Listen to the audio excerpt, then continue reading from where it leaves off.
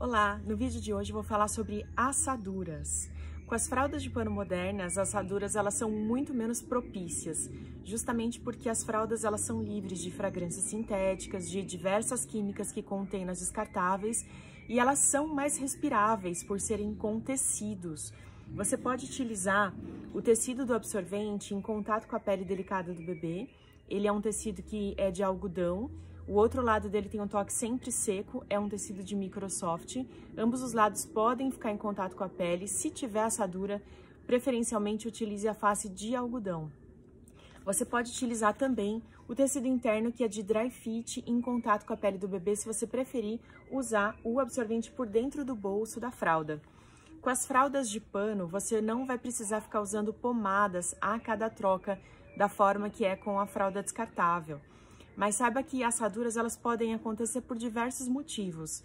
Crescimento de dentes, vacinação, introdução de alimentos, até mesmo quando você utiliza um sabão que seja muito químico, por exemplo, que fique um resíduo de sabão por uma lavagem com mau enxágue nas fraldas ecológicas, pode acontecer assadura por resíduo de sabão. Por isso que a gente sempre recomenda um sabão mais puro, livre de aditivos químicos. As pomadas existem dois tipos, umas que são preventivas e outras que são para tratamento de dermatites e, e, problemas de assaduras. Às vezes, se tiver um, um pouquinho de vermelhidão, você pode estar utilizando uma pomada livre de petrolato, livre de glicerina, como por exemplo a pomada da Veleda, Mustela. Tem pessoas que utilizam também o óleo de coco. O óleo de coco ele vai ser absorvido pela pele. Nós temos depoimentos e acompanhamos experiências de clientes que não tiveram problemas de impermeabilização da fralda utilizando óleo de coco na pele do bebê. Lembrando que não é necessário estar tá passando sempre. Eventualmente, se você sentir que precisa de um cuidado maior com a pele, algum vermelhinho, você pode estar tá utilizando o olhinho de coco ou um pouquinho de pomada nesse momento. Para esses momentos, é legal estar tá utilizando o liner, que é um lencinho reutilizável, que vai ser lavado também junto com as fraldinhas em máquina de lavar.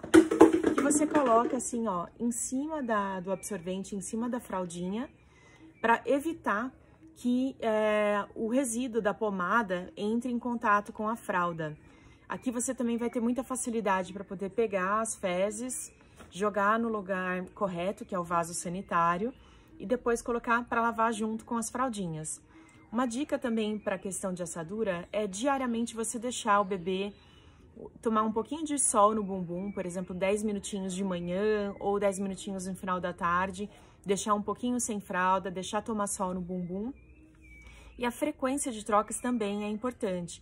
Então a gente tem que trocar o bebê com uma certa frequência, porque quanto mais tempo o bebê fica ali com a fraldinha, esse resíduo do xixi ele entra em decomposição, isso é causa de assadura. Então pode parecer vantajoso, às vezes com as fraldas descartáveis, deixar o bebê por seis horas durante o dia com a fralda, mas o ideal é que durante o dia a gente tenha uma frequência de trocas maior. A gente sabe que durante a noite ainda vai ser necessário trocas noturnas enquanto o bebê acorda para mamar e depois que o bebê ele já dormir a noite inteira, é possível deixar a fraldinha a noite inteira também.